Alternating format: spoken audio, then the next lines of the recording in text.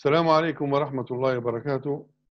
آه، مرحبتين بكم في حلقة جديدة من برنامج آه، هدرزة ليبية. نستضيف فيها بعض الأصحاب والإخوة آه، أصدقائنا من ليبيا. نهدرزوا فيها على مواضيع معينة أهمها طبعا الموضوع اللي هو موضوع الساعة. الناس طبعا كاثر الحديث عن جماعة الإخوان المسلمين. في كل مكان الإخوان يعني الإخوان الإخوان داروا الإخوان فعلوا الإخوان آه، كذا الإخوان. فنحن بنعرفوا شنو سبب الحملة هذه على الإخوان المسلمين لدرجة إن يعني آه، الآن الإخوان المسلمين قعدوا آه، يقولوا عليهم جماعة الإسلام السياسي الإخوان المسلمين جماعة المرشد الإخوان المسلمين جماعة سيف كثرت عليهم التسميات حتى الراجل الكويس مرات يقولوا عليه إخوان مسلمين كويس كل واحد يعني يخالفهم كل واحد ما إخوان مسلمين هذا أمر غريب يعني مثير للتساؤل لدرجة أن حتى بعض القنوات اللي في قنوات التهريج وغيرها ثم يقولوا اللي ايتي مانشستر يونايتد الاخوان المسلمين، اللي ايتي برشلونة إخوان المسلمين. الإخوان المسلمين هم اللي خلوا التتار يخشوا هم اللي خلوا التتار والمغول يخشوا يحتلوا بلاد المسلمين، الإخوان المسلمين هم كانوا سبب سقوط الأندلس، تمت مسخرة وتمت يعني آه الأمر مثير للضحك يعني. فنحن بنعرف ليش هذا كله، ليش الحملة هذه كلها غريبة. ما فيش واحد الآن ومتحدث عن آه أحسن واحد تلقاه يقول لك يا سيدي الاخوان المسلمين مع إني مانيش منهم مسكين خايف تلقاه خايف كانه آه، مصيبة ركباتها تلقاه راجل كويس مع إني مانيش من الإخوان. لكن الإخوان نشهد بالله كذا ماش حتى حد يقدر يقول كلمة طيبة. يخافوا الناس يخافوا الناس. يعني تيار وحملة قوية وهجمة على الإخوان لا يمكن يعني تتوقعها. ما صارتش على أي مجموعة أخرى ما صارتش حتى على جماعة معمر اللي خربوا البلاد. ما صارتش. يعني تو الإخوان سيبوا الناس اللي هم يقتلوا عيني عينك في الشوارع. قدام الناس بالصور يقتلوا عيني عينك وحتى المحاكم الجنائية الدولية تدور فيهم وطالبينهم وسيبوهم وجه الإخوان المسلمين. سيبوا الناس اللي تسرق واللي بفضايحها معروفة سارقين بنوك وبلا وما سيبوا الإخوان المسلمين. سيبوا الناس اللي مدقدقه البلاد بالطياره والإخوان المسلمين. كل حاجة اللي خالفهم في الرأي إخوان المسلمين. غريبة. يعني أمر غريب. من وراه الكلام هذا؟ ما اللي عنده مصلحة في الموضوع؟ كل يوم زرق لنا واحد الإعلام الاخوان المسلمين. كل يوم هل في جهة معينة تحرض فيها الناس ضد هالمجموعة هذه؟ تعالوا نعرفوا شنو هالمجموعة هذه يا سيدي. نحن نقولوا في عربنا الأول يقولوا لي تشكر قبل شوي من القريضة. هذوما خذوا من القريضة نين نين نين, آه، ملوا. خذوا من القريضة نبطلوا نبغوا نعرفوا إحنا نقلبوه المثل هذا يا سيدي. نقولوا اللي تقرض قبل شوي من الشكيرة. باقي نعرفوا ونفهموا حقيقه الناس هذول من هم. نحن نعرف أن الأخوان المسلمين أعضاء تدريس في الجامعات وأطباء ومهندسين ومحترمين وموظفين. الناس الحقيقة يشهد المقاسي والداني في ليبيا نحكي أنا. محترمين على جميع الأصعدة. واللي يعرف يقول لك هذا نعرف انا قلنا رجل كويس. بس أخوان المسلمين طيب إيش القصة يا سيدي؟ معقوله إذا كان رجل كويس يعني يمشي يخش حاجة مش كويسة؟ غريب الأمر. واحد يقول الأخوان المسلمين مسؤولين. واحد يقول الأخوان المسلمين متاعين مش عارف إنجليز دراهم الإنجليز. واحد يقول دراهم مش عارف يعني شيء والكلام مضرب كله كلام ربيع وهذا ملاش ملاش أي سند يعني الا إلا دفنجي فاضي. ما فيش ماش حقائق. يعني فنحن بنعرفوا من ضيوفنا اليوم. أنا جبت لكم ضيوف تعرفوهم. معروفين في بنغازي ومعروفين في ليبيا. اللي كابتن طيار واللي مهندس طيار. آه، اخوكم وأصحابكم. استضيفوا اليوم الكابتن نصر عامر تعرفوه. حتى هو في الخطوط والكابتن محمود زوبي والمهندس عمر الوحيشي ناس تعرفون كلكم فاني بندردش معهم على الموضوع هذا. كان يمشي جماعة الإخوان ماشيين قصتهم جماعة الإخوان المسلمين. فهموني يا سيدي فهمونا هالقصة هذه. فنتوكل على الله ونبدو. إن شاء الله أه تفضل. اللواتي نصر توكل على الله. بسم الله الرحمن الرحيم. السلام عليكم جميعا. شكرا سعد. بارك الله فيك. آه، أول مرة الحمد لله رب العالمين أنا من الأخوة المسلمين أنا فرحان من الأخوة المسلمين. وأنا لما نقول الكلام هذا والله مش آه، يعني يعني عملية كما تقول آه، إغاظة لا لا لا لا لا لا. أنا أقول أنا فرحان. لأن يا سعد أنا خلينا نبدأ لك من زمان. نحن بدأنا نشأنا في بيت طبعا أنا وسعد نشأنا في بيت واحد باتي وأبوه خوت وأمي وأمه. خوات وكنا في بيت واحد مع الصحاب ونشأنا وكان آه، حياة آه، آبائنا الله يرحمهم وأمهاتنا لا يسمحوا لنا بالابتعاد عن الصلاة لا يسمح لنا بقول الكلام مش كويس. ما يسمح ربنا تربية من فضل الله سبحانه وتعالى نشكرهم عليها جزاهم الله خير. وكان حتى يعلمونا فيما في القراءة وكان القرآن وكذا كل يحكوا لنا وصوبوا لنا رد بالك من هذه رد بالك من هذه. يعني كانت باستمرار. نشأنا أنا أحسبها أن نشأة كانت كيف نشأة عرب البلاد الناس الطيبة والناس اللي تخاف الله جميعا وأنا نعرف والد عمر ونعرف حتى والد محمود الله يرحمهم كانوا ناس طيبة وبتاع جوامع وناس حمل كتاب الله سبحانه وتعالى. آه فتربينا هذه التربية نشأنا. لما لقينا هذه الجماعة أنا أذكر زمان نحكي لك قصة بسيطة كيف ممكن بعدين نحكوا على أذكر أن جانا أحد الإخوة من أمريكا. صديقي كنت نقرأ أنا وياه. افترقنا وبعد فترة جاء من أمريكا وجاء البنغازي. مشينا للبحر. لقينا استادنا أحد استاد استاد يعني استاد في علوم اجتماع وتاريخ وكذا وجاب الحكاية جاب جابت جبدت الفتنة الكبرى والكذا. وقعدت نسمع أنا بصراحة. ونعرف صديقي هذا لما عدى يعني نعرف وضعه في الفصل في الناحية الإسلامية وكذا. مش بالقوة لكن لكن استغربت في حديثه وتأصيله ويعني تفنيد قضية اتهام الصحابة رضوان الله عليهم في قضية الفتنة الكبرى وكذا. والمدرس بتاعنا طبعا مدرس حقيقة يعني يعني قدير ونحبوه وكذا لم يستطيع لأنه كان يتكلم بالمعلومات اللي كانت عندنا من ال يعني مشوشة للأسف عند أغلب الناس لكن صديقي هذا تكلم فأنا صراحة كرشت فيه هذا كرشت فيه وقلت منين تعلمت الكلام هذا؟ قلت منين تعلمت؟ قال لي والله يا أخي نصر فين إحنا في أمريكا وكذا من المسجد وكذا وفي جنا علماء وجنا كذا وجنا كذا والحقيقة تنورنا وتعرف فلان صاحبك وتعرف فلان راهو بصراحة كلهم من فضل الله ربي من علينا وعرفنا إحنا كنا نعوم لكن الحمد لله الآن نعرفه والله عدى صديقي هذا رد لأمريكا؟ تزوج وعد لأمريكا ولكن قعدت فترة في بريطانيا. كنت أنا بمجرد كل تقريبا أسبوعين ناخذ إجازة من ثلاث أيام off أربع أيام off نمشي نقضي فيها معاه. باش نفهم منه ونتعلم منه. باش نفهم منه المفهوم جديد غريب يحكي لي. أنا كنت نفهم الإسلام صلي وارفع صباطك.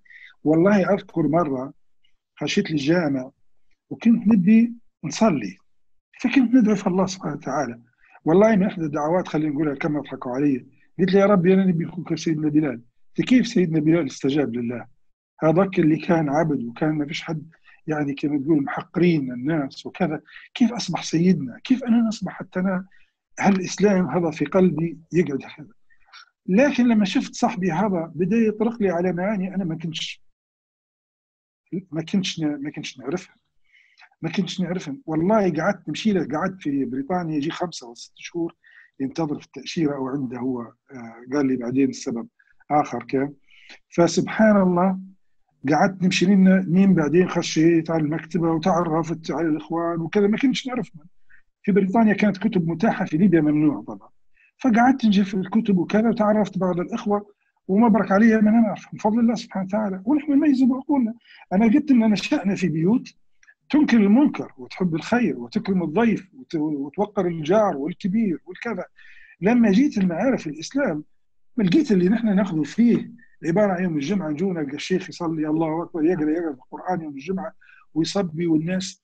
ما عندهاش الإسلام ميت شبه ميت في نفوسهم فالحقيقة جماعة الإخوان المسلمين وما نقول أنا مبرك علي من أخش بفضل الله لما خشيت هذه الجماعة بصراحة تغير شكلي. تغير تغيرت حياتي تغيرت اهتماماتي. كنت ما عنديش ثقة في نفسي تغيرت. الله سبحانه وتعالى من علي. وأنا لذلك أحزن لما تكون في هجمة على الإخوان أحزن. مش نحزن على الإخوان. هذه جماعة تمتد حتى في هالكلام هذا اللي يقولوا فيه. هي تمتد من فضل الله وكل يوم في ناس يعني بارك الله فيك المقدمة هذه. نصر إن شاء الله نستأنف. ردوا عليك. في عندك حاجة بتقولها تكملها؟ بسيطة. آه جوي فأنا اللي اللي أنا يعني نحزن انه يمنع هذا الخير بالمصدات اللي يديروا فيه الكلام اللي تقدمته باش ما يخلوش الناس يستفيدوا من هالإخوان كما استفدنا نحن. لا ما يبونش يستفيدوا. يخلوهم تشويش للأسف. أنا نحزن عليهم فقط والله. وأشهد الله سبحانه وتعالى على كلامي. تفضل يا صاحبي. بارك الله فيك. عمورة توكل على الله إذا كان تبي تعقب على نصر ولا عندك حاجة بتقولها. بسم الله الرحمن الرحيم. الحمد لله والصلاة والسلام على سيدنا رسول الله. شكرا سي سعد على هالاستضافه الطيبة وعلى هالجهد اللي نسأل الله سبحانه وتعالى أن يطرح فيه البركة وينفع به بلادنا وأهلنا وأخوتنا وأصحابنا وأحبابنا. اللي زي ما قال الكابتن ناصر والله ما نريد إلا الخير لبلادنا وأهلنا وأصحابنا. إحنا في خير ونريد الخير يوصل لهلنا. آه يعني الحقيقة حلوة الكلمة اللي قالها ناصر قال أنا سعيد بانتمائي لجماعة الإخوان لأن انتمائك لجماعة الإخوان يحطك في طريق خدمة الله سبحانه وتعالى، خدمة الله هي خدمة الوطن هي خدمة الناس، هي خدمة الفقراء، هي خدمة المساكين. تشعر بارتياح لما تقدم خدمة للناس. خيركم أنفعكم للناس. نحن نسعى زي ما يقال في خدمة الناس أكثر من سعينا في خدمة أنفسنا لما نقدموا خدمات للناس. فنحن سعداء بهذه الطريق وبهذه الدعوة. نحن مش سعداء واجد على الحملة التي تقام على جماعة الإخوان وتتهم فيها و...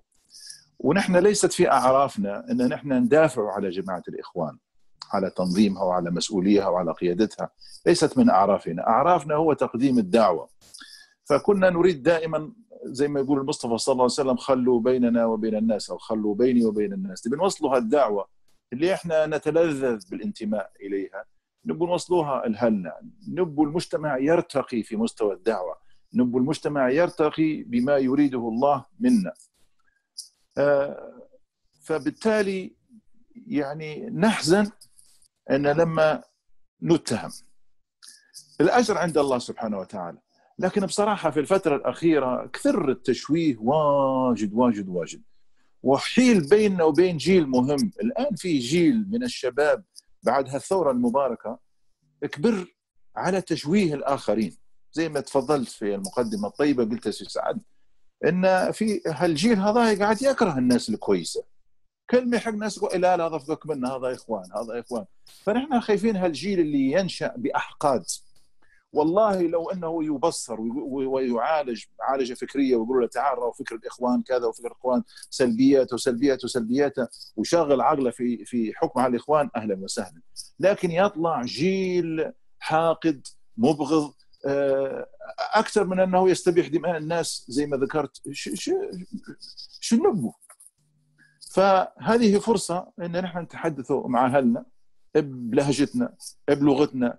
بدون تقعر بدون استدلالات واجدة يمين ويسار وكذا نشير من حين إلى آخر إلى أهمية هذه الدعوة ومصدر هذه الدعوة وليش تسمت هذه الدعوة هذا الاسم فهذه فرصة تدريسه طيبة ونهدز بعضنا لنصل إن شاء الله تعالى إلى خير بإذن الله. بارك الله فيك معنا نحن تو كان مشينا المحمود على ذكر مرة نشير إلى الدعوة وكيف كذا. كيف تكاو حكينا عليها؟ الدعوة هذه شنو يا محمود؟ باختصار.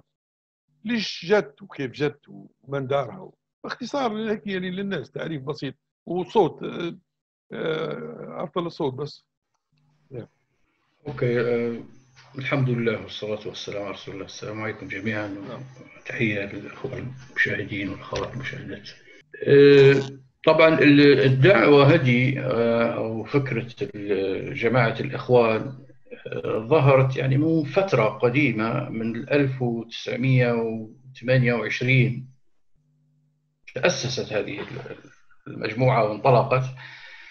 والأسباب طبعا كانت كثيرة من ضمنها الوضع اللي اللي كان سائد في تلك الفترة يعني أي إنسان يرجع للتاريخ يعني للتاريخ ويقرأ ما كانت ما كان الوضع عليه في العشرينيات في عشرينيات القرن الماضي حيجد ان إن كان العمل الجماعي يعني منتشر بشكل كبير وكان فيه يعني نوع من ثقافة العمل الجماعي وثقافة التعاون عفوا يا محمود شنو تقصد به العمل الجماعي منتشر كيف ما فهمش العمل الجماعي؟ يعني قصدي مثلا الجمعيات الجمعيات آه. الجمعيات مثلا الإسلامية وغير الإسلامية. أيضا العمل الحزبي في تلك الفترة مثلا في مصر كان فيه نوع من الحرية كان فيه يعني الساحة الثقافية كانت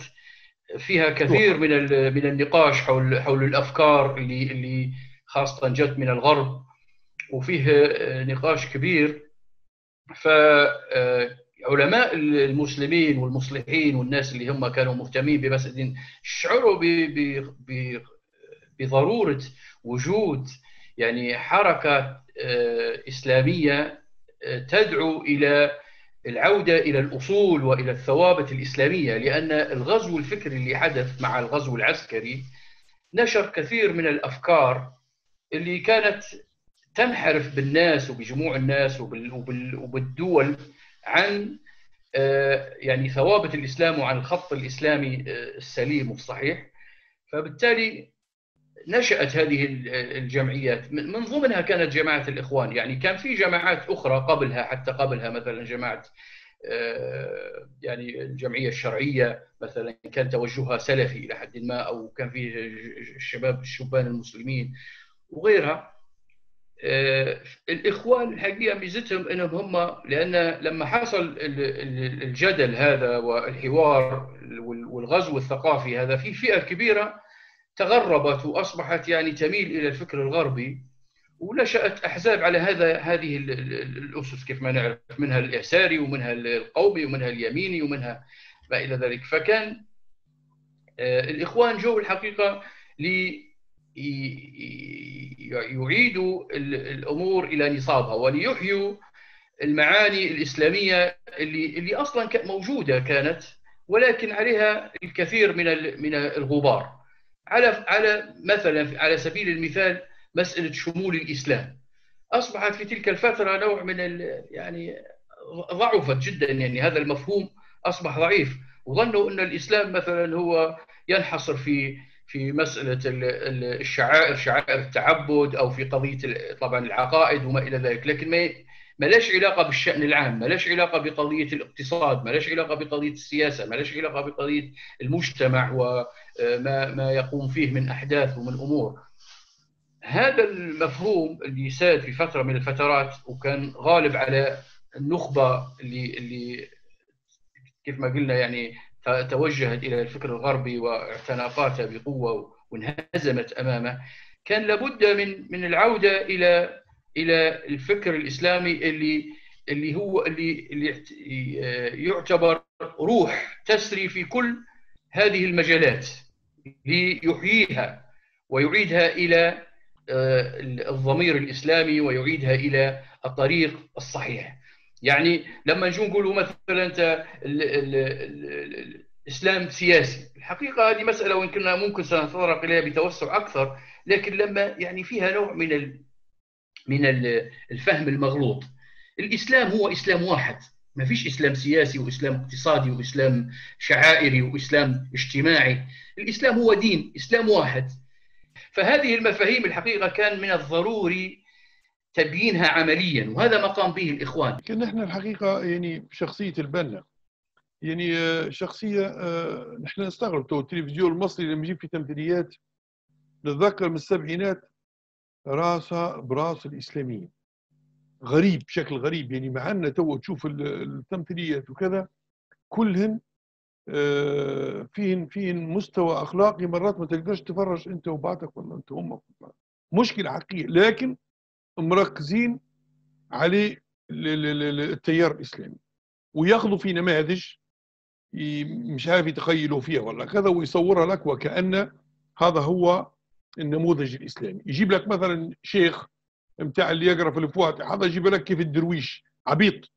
الشيخ اللي جايب كتابات حاطن هنا وكذا فكأنه راجل عبيد درويش آه هذا النموذج الإسلامي. وبعدين انتقلوا وتم كل مرة يجيب لك تاعين اللي, اللي يضحكوا على الناس تاع البنوك والأموال وكذا وغيره لجارة وصلوا دوروا فيلم سموه الجماعة. يشوهوا فيه في الإمام حسن البنا ويشوهوا فيه في الجماعة. شغل يعني هم أصلا الآن يديروا في أشياء يستحي منهم الشيطان. وبالاخير يقدر يحكي لك على الجماعة. الناس لدرجه ما عادش كده تفرز ياخذوا منهم في كل ما يتعلق بالجماعة يستقوا فيه من هؤلاء الناس اللي هم إيش؟ يستحي الشيطان من أعمالهم مرات. جماعة حسن البنا هذا الشخص يجي غيب تماما في الإعلام المصري. غيب ما يجيبوش لك بك. لكن يجيب لك من؟ يجيب لك مثلا سعد زغلول. يحيى سعد تفريق يحيى سعد يحيى ضربان يقوم يجيب لكش حسن البنا ليش؟ ليش تغيب هذه الشخصية المحترمة المرموقة اللي اللي ما فيش شخص احتك بها حتى طه حسين عنده معه موقف وكذا كل محترموه وكل مقدروه. لكن شخصية تفخر بها مصر. لا يتكلموا لك عليها هذوما وهذا ما فيش لعب. لماذا؟ ليش يا نصر؟ ليش الكلام هذا؟ للأسف آه، هي هي الحرب هي حرب على الإصلاح. لما تبهت الأمة الإسلامية لما برزت يعني انت تخيل المسلمين أو المسلمون غابوا عن السيادة من 100 سنة بس. 1924 إلى الآن. ما زلنا ما طقناش 100 100 ناقصت 4 96 كانت أمة الإسلام كبيرة. يعني يذكر أن مرة الإنجليز هددوا السلطان عبد الحميد ويعتبر السلطان عبد الحميد من آخر يعني سلاطين الدولة العثمانية اللي جت تمثل الخلافة هدد بأن يعرض آه، فيلم على الإسلام تشويهي أو كذا. فأرسل كلم السفير وقال له إن لم توقفوا هذا العبث ساتيكم بجيش من حدود الصين. وأتيكم به. فالإنجليز على طول وقفوا. طفوا. كانت لها هيبتها. فنحن الدولة هذه عظيمة. وجود الدولة الإسلامية راهو يا إخواننا يعطل فساد وفسوق وفجور وتجارة وكذا في العالم كله. عودة سعد على لذلك هم يحاربوا فيها لأنها عملية مصير بالنسبة لهم هم. عملية وجود الإسلام، الإسلام دين الله والله بالإصلاح. والأنبياء يقولوا إن أريد إلا الإصلاح ما استطعت. وهكذا هم جايين يصلحوا والدين دين عالمي وعارفين يقنع الناس والآن أصبحت أمريكا أكبر ديانة تنتشر فيها الإسلام والعالم كله بصفة عامة فهم يعرفوا هذا الخطر هناك ناس تشتغل وعندك عندنا نحن في بلادنا ناس يعني آه، آه، مأجورين نسميهم زمان يسموا فيهم خونه أو منافقين. هؤلاء الناس يعملوا على هذا. إضافة أن في ناس جايين مبرمجين زي يوسف وهبي مثلا ذكرت التمثيل. هذا إنسان كان معروف كان جاء بدأ وهو مش مسلم هو نصراني وجاء أفسد بدأ بالتع... بالعري. في مصر أصبح العري للبنات في الأربعينات. على البحر الشط في الثلاثينات والاربعينات البنات بالمايو في مصر. يعني ضربوا مركز العالم الإسلامي. آه ذكرت فنقصد جماعة التمثيل هذول جايين عارفين شنو يديروا لكن الناس غافلة. يجيبوا لهم كيف عادل إمام حكم يقول كلمتين وكذا وكذا وبعدين يقدروا يأخذوا منه إنه هو اللي يفصلهم في الناحية الإسلامية. هذه عبث. معقوله نسمع العقلي إن عادل إمام السفيه اللي. اللي لا يقول كلمة فيها حياء؟ ما يستحيش. وغيره بعدين هو اللي يجي يمثل لي الدولة على الإسلام ويبين لي ويحكم لي يعني يعطيني في عقلي يشحن لي يملى لي عقلي على كيف أنا نحكم على الإسلام وعلى أهله وعلى كذا كذا مصيبه الإمام البنا رحمه الله كان في رجل عملي ورجل كان صغير يحكى أنه هو أتى بدأ قبل ما يأسس الجماعة بدأ يحث في العلماء الكبار. هو هذا علاش ترك العلماء؟ قاعد يحث فيها. فجاء الشيخ مشايخ الأزهر فجاء وجلس معهم وكان رجل أعمى. فجلس معهم الإمام البنا صغير عمره كان 16 17 سنة وكان رمضان بيبدأ. فجلس بجانبهم والتفت للشيخ وقال لي يا شيخ الأمة حالها صعب. بدأت المدارس الإسلامية تندثر وبدن الجامعات الغربية والكذا في بلادنا وتعطى أهمية هذا يقتل الإسلام وكذا. الشيخ سمع الكلمة وحزن. وأنا ننهي بهذه. حزن شوية كان وبعدين آه سكت شوية قالوا خلاص إحنا إذا غدا إن شاء الله حنلتقي في بيت الشيخ الفلاني. وهدرزه رمضانيه رمضانية. فجاء الإمام البنا وجلس بجانب الرجل هذا اللي هو كبيرهم وجلس وقال له يا شيخ أنا أمس حدثتك بموضوع شو صار فيه؟ قال له انت هنا ومد يده والله كانت في يده قطعة من الحلوى. فمدها للإمام البنا. الإمام البنا رد رد الرجل باليد وقال له والله ما لهذا أتيت؟ إنما أتيت لحال الأمة. فبكى الشيخ. عرف روحه أنه هو مقصر. هذا هو الإمام البنا اللي يحكوا عليه. اللي ما يشعرش بحال الأمة راهو يراجع نفسه يا أخي. إذا كان نقول الإخوان المسلمين مش, مش كويسين أبحثوا في منهجهم. شوفوهم. شوفوهم أنتم تقولوا عليهم والله كويسين ها؟ والله نعرفك كابتن ناصر كان في المطار كويس والله عندنا مرينا من شيء. باقي كلنا ناصر خش الإخوان المسلمين شنو عنده؟ معقوله يطلع إنسان مش كويس يدير الكلام هذا؟ محمود عمار الوحيشي ولاد سي محمد اللي مشهور في وسط بنغازي بالصلاح والخير ورجح عن كتاب الله. يطلع ولده شوفوا راجل كان عمار يصمت فيها نقولوا لكن عمار راجل صالح وكذا. خلينا نفهمه بصراحة. أرجعوا يا إخواننا سبحان الله. بارك الله فيك يا ناصر. عمر إحنا توا واجدين يقول لك بيش دخلنا نحن يا سيدي آه، بالإخوان الإخوان طلعت في مصر إيش دخلنا بهم؟ إيش دخل يجيبوا لنا دعوة الإخوان؟ ليش طلعت برا من مصر دعوة الإخوان هذه؟ كيف؟ شنو السبب؟ سبب انتشارها كيف انتشرت آه، وصلت حتى الفكر عندنا في ليبيا جت حتى عندنا في ليبيا. نعم. آه، الفكر لا حدود له. دعوة الإخوان فكر تجديد لطريقة دعوة الإسلام أو الدعوة إلى الإسلام. سيدي محمد بن علي السنوسي منين جانا؟ الجزائر. السنوسية. من الجزائر. لا يمكن تقول السنوسية جزائر ومش عارف إيش وليش مشات مشات. حتى درس زوايا في السعودية. درس في زا عندها زاوية في مكة قاعدة هذاك الوقت. صحيح. عندها الوقت وقت نعم. الفكر الماركسي الفكر اليساري الفكر القومي الفكر لا حدود له. وهذه مسألة آه، أن الفكر لا يقابل إلا بالفكر. الفكر لا تتصدى له بندقية وتتصدى له سلاح لا تتصدى له بفكر يا تدحض يا توضحه يا تنتمي له. دعوة الإخوان المسلمين زي ما أشاروا الإخوة أنها دعوة شاملة تتناول جميع نواحي الحياة. وهذا نحن تو لما نقول شاملة الآن بسيطة لكن في العشرينات زي ما أشاروا الإخوة كان فيه فساد غير عادي فساد خلقي وأخلاقي وفساد عقائد وفساد في العبادات وبيعة الب- البلدان للمستعمر. و... واستأسدت استأسد الغرب على معظم خيرات بلاد المسلمين ونصب علينا أناس ولائهم للغرب أكثر من ولائهم وخدمتهم للوطن إلا باستثناء حالات قليلة جدا الفساد اللي كان أكبر فساد حل بالأمة المسلمة هو سقوط الخلافة. سقوط الخلافة كان تتويج لمكر الليل والنهار. شغل طويل عبر التاريخ. إفساد في عقائد الأمة إلهاء الأمة عن رسا عن عن عن غايتها ثم توجت بسقوط الخلافة. لما تقول سقوط الخلافة رأه معناها سقوط العقل الإسلامي. سقوط انحراف صار في الإسلام. زي ما تقول تو مثلا تشبيه بسيط كاي زي ما تقول أمريكا بين يوم وليلة تطيح.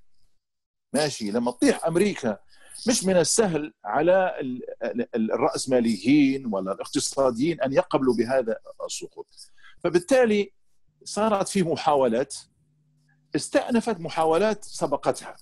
فجاء البنا وأسس هذه الجماعة وعرض الفكر متاعها اللي هو فكر شمولي. كان من حظ الليبيين أن في عدة ليبيين يقروا في مصر وكان فيه طبعا ال- ال- قصة الثلاثة اللي ممكن نحن نمر عليها مرور الكرام الثلاثة المصريين آه، عز الدين الشربيني وإبراهيم ومحمود سعده وما إلى ذلك الثلاثة هذول اللي جو واستضافهم الملك الملك الصالح إدريس السنوسي الله يرحمه استضاف هؤلاء الثلاثة في رسالة وجهها للحاكم آه، آنذاك أنا نسيت اسمه. الرسالة سبحان الله عندي كانت منها نسخة ممكن حتى نطلعوها ننشروها ما نشرها الأستاذ سالم الكبتي المؤرخ ال- ال- ال- الليبي المعروف وسماها رسالة الهتيكه لأن سيدي إدريس الله يرحمه أشار قال رد بالكم هالجماعة يقربها محدره وتصير فيها هتيكه هكي سماها الكبتي رسالة الهتيكه بخط يد الرسالة هذه واستضافهم. وفتح لهم البلاد و و وكانوا أوفياء للعهد اللي قطعوه مع الملك. كانوا اتجهوا إلى إلى الدعوة إلى إلى التبشير بالإسلام. لم يدعوا إلى تكوين تنظيم للإخوان المسلمين. هذه مسألة. يعني يحكوا لنا شيابنا آه، من الإخوان المسلمين زي سي إبراهيم حماد الله يمد في عمره وي- وي- ويبارك فيه. وسي محمد معتوق آه، الله يرحمه وسي حميدة بالشيخ وإدريس ماضي ومصطفى جاني الله يرحمهم جميعا. صالح الغول وصالح الغول عم- رجال فضلاء. يحكوا لنا أن ما كانش فيه نية لتأسيس تنظيم. كان همهم هو نشر هذه الفكرة تنتشر فكرة الدعوة الشمولية. فعن طريق هؤلاء الثلاثة ثم عن طريق بعض الناس اللي اللي اللي كانوا يدرسوا في مصر جت دعوة الإخوان إلى ليبيا وانتشرت في ليبيا وممكن أتحدث عليها بشيء من التفاصيل إن أحببتم فيما بعد. محمود واجديني حسابهم الإخوان المسلمين كلمة الإخوان هذه معناها أما مسلمين والآخرين مش مسلمين. أو في اللي مرات يقول عليه كلام معمر إخوان يحسبوها لها علاقة بالخيانة. ليش سموها أخوان مسلمين؟ ليش؟ احكي على الموضوع هذا لا يعني ابدا طبعا يعني إنك أنت تتسمى باخوان معناها يعني الآخرون مش إخوان. يعني أو مسلمين معناها الآخرين مش مسلمين. يعني وهذا يعني ممكن ممكن إحنا إذا كان مثلا صح معناها معناها الحزب اللي يتسمى مثلا الحزب الوطني مثلا اي حزب معناها الاخرين مش وطنيين أو مثلا حزب الأحرار الديمقراطيين. معناها الاخرين ما مش أحرار عبيد أو أو مش ديمقراطيين مستبدين أو صح. فأعتقد إن مسألة التسمية هذه ما هيش يعني حاجة كيف ما تقول يعني تنفي تنفي تنفي على الآخر يعني هذه الصفة. ف وكيف جت هي التسمية جت بشكل عفوي الحقيقة يعني لما تراجع تاريخ يعني نشأة الإخوان تجد إن هم شباب اجتمعوا مع بعضهم و وكانوا متحمسين للعمل يعني كيف ما قالوا الإخوة يعني لنصرة الدين وإعادة مثلا يعني ثوابت الإسلام والدفاع عن الأمة المسلمة وعن وعن وعن دينها وعن وعن مبادئها وعن ثوابتها. ثوابتها وقال وذكروا يعني أن نحن إخوان ومسلمين. اذا فلنسمي أنفسنا الإخوان المسلمين. يعني جاءت بطريقة يعني عفوية ما كانش فيها قصد إن مثلا الآخرين ما يكونوش يعني يتسموا بأسماء أخرى أو شيء من هذا القبيل. لا. لكن المنهج إسلامي الفكرة إسلامية. يعني أيضا حتى هذه وأنا أعتقد إن هالحرب القائمة يا سعد هالحرب القائمة وهل كيف ما ذكروا الأخوة هي هي نتيجة ان إن هذه الفكرة فكرة إسلامية فكرة قائمة على مبادئ مبادئ إسلامية تقود إلى إنشاء أو إعادة إنشاء قوة إسلامية دولة إسلامية حضارة إسلامية فهذه الفكرة أو هذا المشروع بطبيعة الحال تواجه مشاريع أخرى. مشاريع أخرى يعني ترفض وجود هذا المسمى أو هذا المكون. الحملات هذه الحقيقة حملات تقودها دول معروفة وعشرات الفضائيات بل مئات الفضائيات وآلاف يعني الأبواق وحريصين يوميا على إيش؟ التشويه وعلى تضليل الناس. المشكلة إن العقل الليبي الآن ونتحدث عن الليبيين بالذات يعني أصبح الحقيقة مضلل للأسف. يعني تم ملأ بأكاذيب وبافتراءات جعلت من الناس يعني بعيدين جدا عن الحقائق. يعني أنا أقول لك يعني عفوا قاطع لو متوقع لو واحد يقول أنا من الإخوان المسلمين في وسط يعني الأماكن الساخنة الآن. نعم. ممكن يدقدقوه ويقطعوه طرف طرف والصبايا زغرة والرجل يكبر. ولا حزاز ولا يصبي واحد يقول لهم أتقتلون رجلا أن يقول ربي الله؟ مش حد يقدر يتكلم يدافع عليه. ما فيش حد يقدر يتكلم يدافع عليه. صح. يعني وما ما الذي يعنيه هذا؟ اللي يعنيه اللي يعنيه أن فيه مشكلة صايرة في إبعاد حاجة اسمها عقل.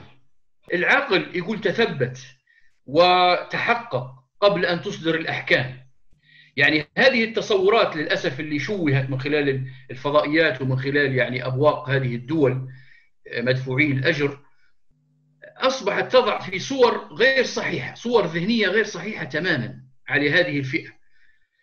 وبالتالي أصبح العقل الليبي يرى أن هذه الفئة هي الفئة اللي أفسدت البلاد، أنا مانيش عارف يعني نبي نبي نخاطب العقل، نبي نخاطب أصحاب العقول.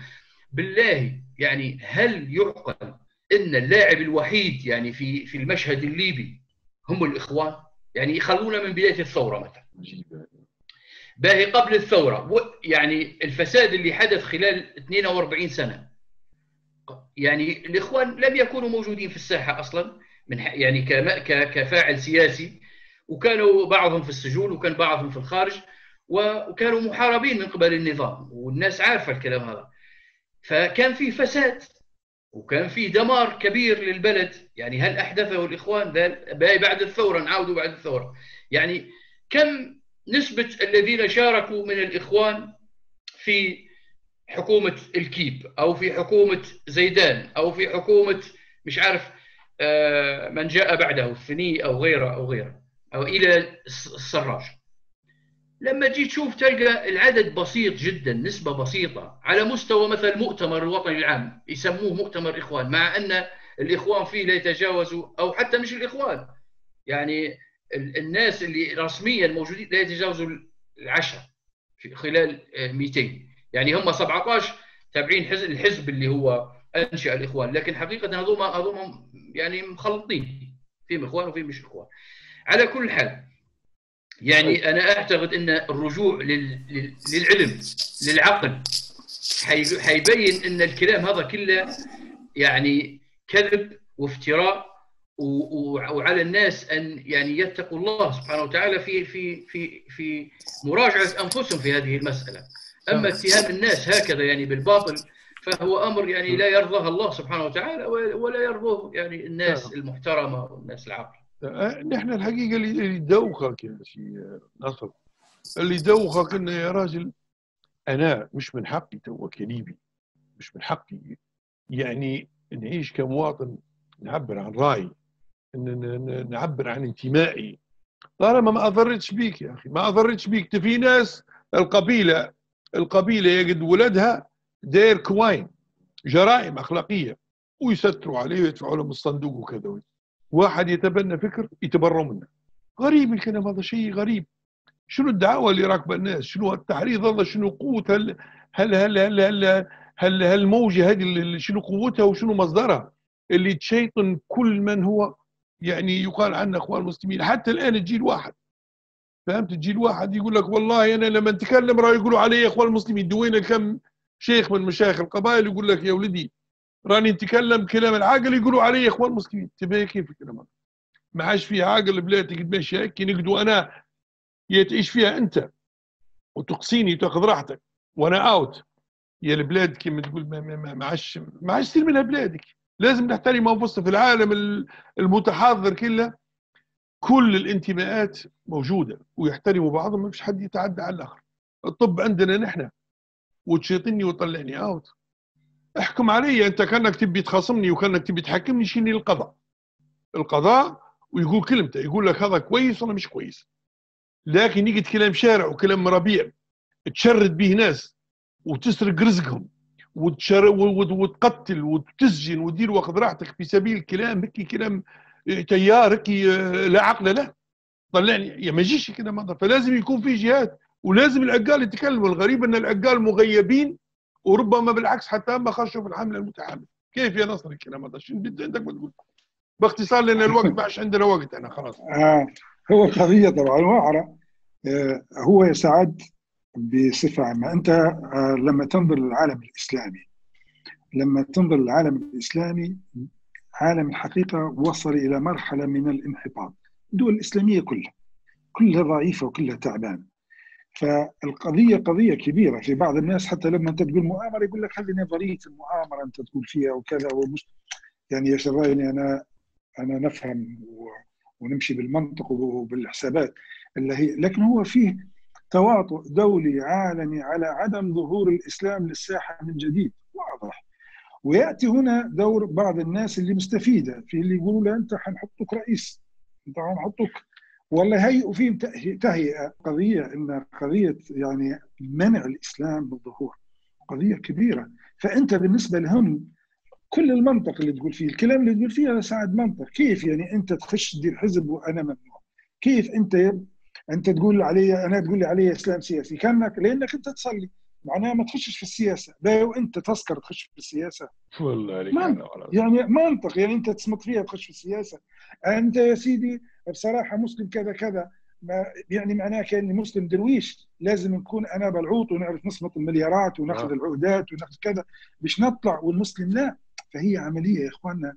مش المقصد بها جماعة الاخوان المسلمين. لو يبوا المسلمين أنفسهم جماعة الاخوان يقعدوا كما تقول تصلي وارفع صباطك كما يقولوا. سهلة تقدر تعيش متريح وبالك حتى يحطوك في وزارات ويحطوك في كل شيء المهم ما تخشش في قضيتهم لكن كان أردت أن تستنهض الأمة وترجع للناس المفهوم الصحيح اللي يب... اللي ينكر المنكر. ويقبل المعروف. ربي سبحانه وتعالى يقول كنتم خير أمة أخرجت للناس.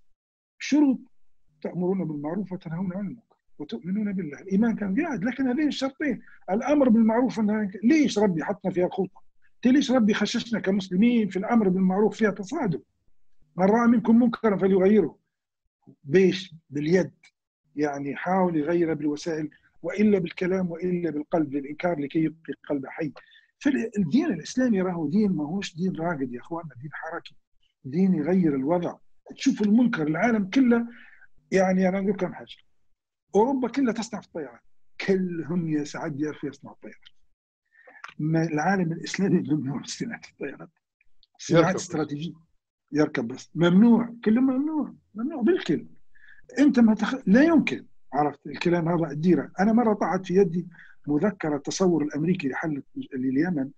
فشنو الأوروبيين اتفقوا في 1700 في 1800 كذا في القرون يجي 300 سنة من قبل وقالوا نحن على بعضنا ما عادش نتعاركوا. ونحن في حل إن كل واحد ده ياخذ حق المعرفة حق لكن ما تطلعش برا وتصدر الاخرين الآخرين يقصد منها نحن وغيرهم كذا. فأنت أنت كمسلم تشوف وضعك ضعيف. جيت بتنهض وأنا عارف الشعب الليبي والعربي كله عنده حرقة والله لكن مغيبين مغيبين. أنت تشوف فيها الفساد تشوف فيها الحكام اللي يحكموا ما ريتش منهم أي حاجة منتجة. ما فرش بك. ما تسألش نفسك وين الفساس زعما نحن ما نعرفوش نطبقوا ولا هم ما يعرفوش يقولوا ولا هم جايبين حاجة سهلة. فهي الحرب قوية على الإسلام ومنع الإسلام من النهوض من جديد. وأنت تشوف فيها الآن في تركيا تركيا لما آه دارت ايا صوفيا هو لمس فقط. وراهو شاريها بفلوس راهو الإمام السلطان محمد فهد فلوسه هو. هو فلوسه هو فيه وثيقة قاعدة. 27 ألف وثيقة. حل شافت المحكمة باش حكمها ترى. هذا وراه وقت الإغلاق لم ينظروا إلى أي وثيقة. وقت الإغلاق جاء الإنجليزي جاء للحاكم في ذلك الوقت وقال له سكرها كتب بخط يده يغلق المتحف للصيانة. وعلقت عليها وتوقيعها هو لكن لما جاء الآن حل بعد تقديمها للمحكمة من سنين ما أنت محروم. نعطيك مثال الولد اللي في نيوزيلندا شين كاتب على البندقة بتاعه ولا عيد؟ يتذكر في معركة سيرة بين العثمانيين وبين النمساويين. انتبه انت نيوزيلندي إيش دخلك؟ إيش دخلك بالعثمانيين وإيش دخلك بالنمسا؟ لكن باش تفهم إن الناس عندهم حضارة بصراحة يفكروا ينظروا إلى تاريخهم. لكن نحن للأسف مغيبين وراضيين بأن نكون مغيبين واللي يجيبوها لنا نقبلوها أكره هذا أكره هذا. فتمنع الصالحين وتمنع الكويس. والله بعض الشباب المخلص مسكوا المطارات. والله مطار بنينه لما مسكها زمان جمال العقيلي. كان أيام معمر عدد الركاب اللي يخرجوا منه يجي 700 ألف في السنة. كلهم ماشيين طرابلس وجايين لما جاء جمال العقيلي خلاه فات 2 مليون. في في مسكة لفترة قليلة ما فاتتش. هذا رجل إسلامي طيب خلى المطار يشتغل وطوره وكان نشوف فيه أنا ديما نزور فيه وكذا. عنده والله عملوا عليه لي لي لي وجيشوا أهل المنطقة بنينا وكذا لأنهم جو عرضوا علي حتى نمسك مكانه. قلت لهم ليش الراجل ماشي كويس كذا؟ الإنجليزي لما شالوهم مدراء المطارات وشالوهم لبريطانيا دير لهم في الدورة قال والله الإنجليزي اللي ديرنا قال والله كان ليبيا مدراء المطارات بتاعها هم أنتم هذول اللي تعينوا في 2012 قال كان أنتم تبي تكونوا ليبيا حتغير شكلها. روحوا من هنا حولوهم كلهم. أمورة نحن كلمة نبي نقولوها للناس يا سيدي نحن طبعا مش مش حيكون هذا آخر لقاء. عن حيكون سلسلة لقاءات إن شاء الله نتكلموا فيها ون ونبينوا فيها بعض الحقائق الغائبة. لكن نبي نقولوا كلمة للناس يا أخي هي البلاد اللي نازلين فينا واللي الدنيا من قلبها وكانت كان مش نشد مش نحن خوتكم مش خوتكم هذوما مش ناس يعني أصحابكم وأصدقائكم ولعبتوا معاهم كورة وتخشوا معاهم زمان في, في, في السينمات وطفولة مشتركه شيل اليوم؟ ليش ليش تحرر ضد ليش؟ شنو مصلحتك في إنك تحرر ضد أخوك؟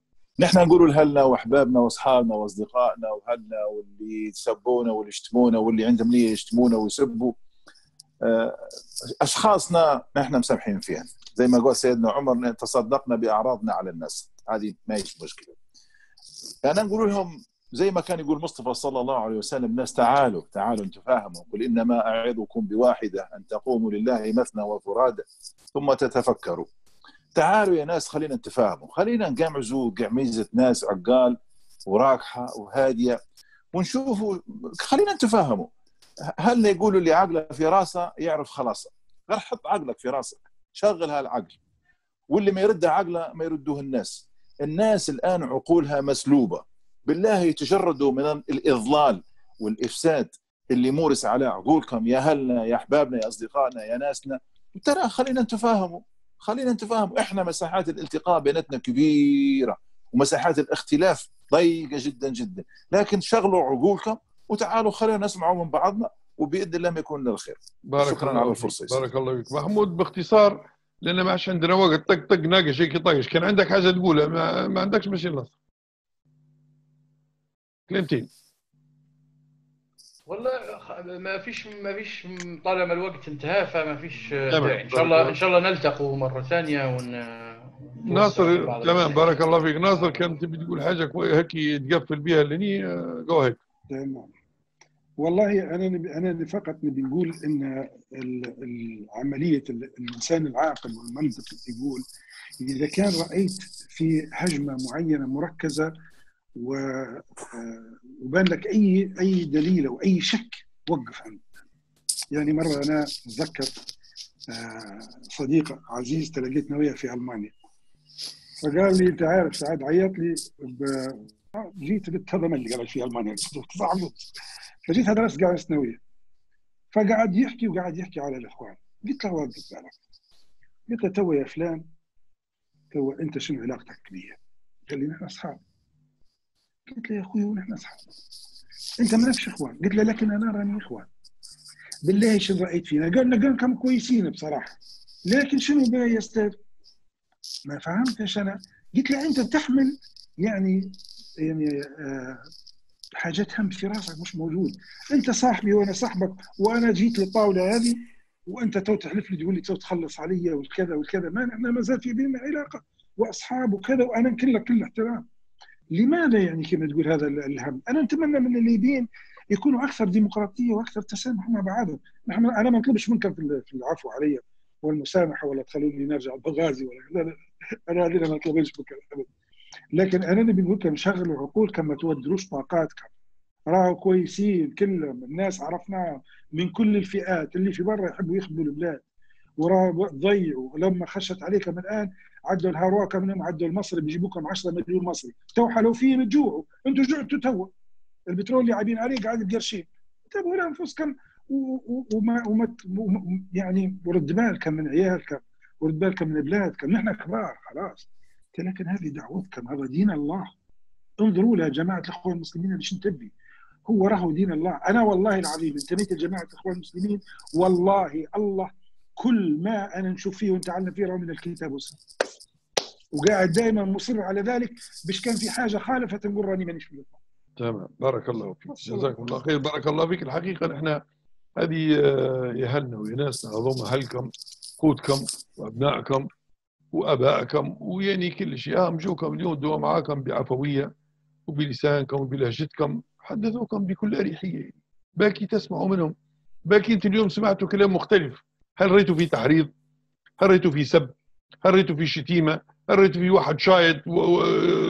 تقول ال- ال- الشرر طالع من عيونه. ما حكيتوش الركاعه والهدوء والكلام اللي كان زمان من ضمن ما مريته.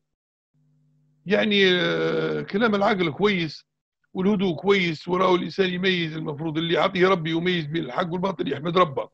واللي راكب راسه شيطان أسأل الله انه يهديه ويصلح حاله. هي حتكون إن شاء الله لفتة. الكمام بداية خير لعل بداية خير إن شاء الله. حتواصلوا مع اخوتكم إن شاء الله في حلقات أخرى وتسمعوا منهم ويردوا على تساؤل- تساؤلاتكم إن شاء الله.